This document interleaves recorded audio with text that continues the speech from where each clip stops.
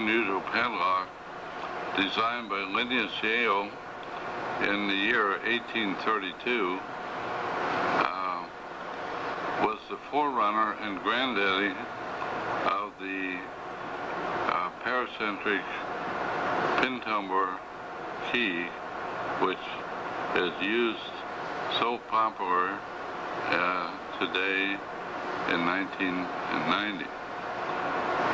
The uh, I'll the key to show the uh, type of of construction that it uh, was and how it was made. The pin tumblers are in the body of the lock and the upper set of pins in this portion so that uh, and the key is inserted they align the pins at the shear line which is in between these two sections. There were three of these locks made. Uh, one was submitted to the patent office in 1832. One was, number two was this particular lock, which was maintained and kept by Linus Yale himself, the inventor.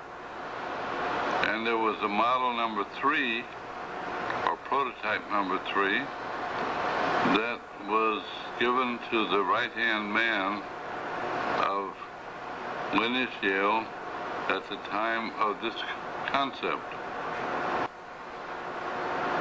The number one lock submitted to the patent office has through the years not been found.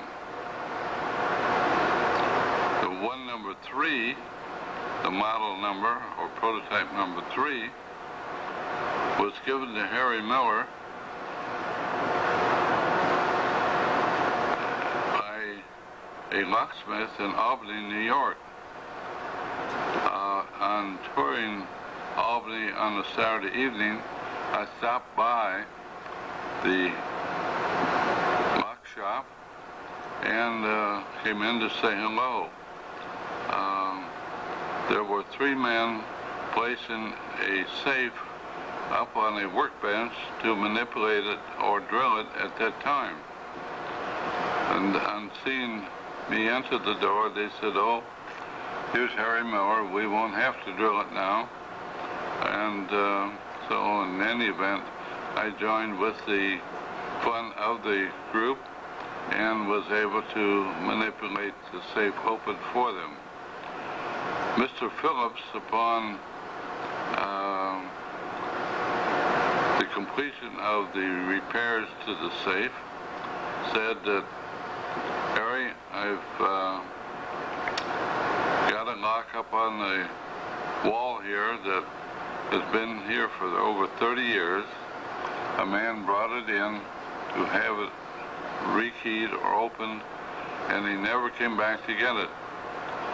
So he presented prototype number three to me, not knowing that it was a very famous lock that it was. I in turn had sold that uh, particular lock for a thousand dollars and used a thousand dollars to buy the lock owned by Linus Yale himself. Uh, this, I was in uh, Las Vegas playing cards on blackjack at a table, and it turned out that the card dealer was the last remaining male heir in the Yale family. This lock had been passed through his family all those years, and uh, he offered it to me for a thousand dollars, and I implied and acquired the lock from him and all the history of the of the item.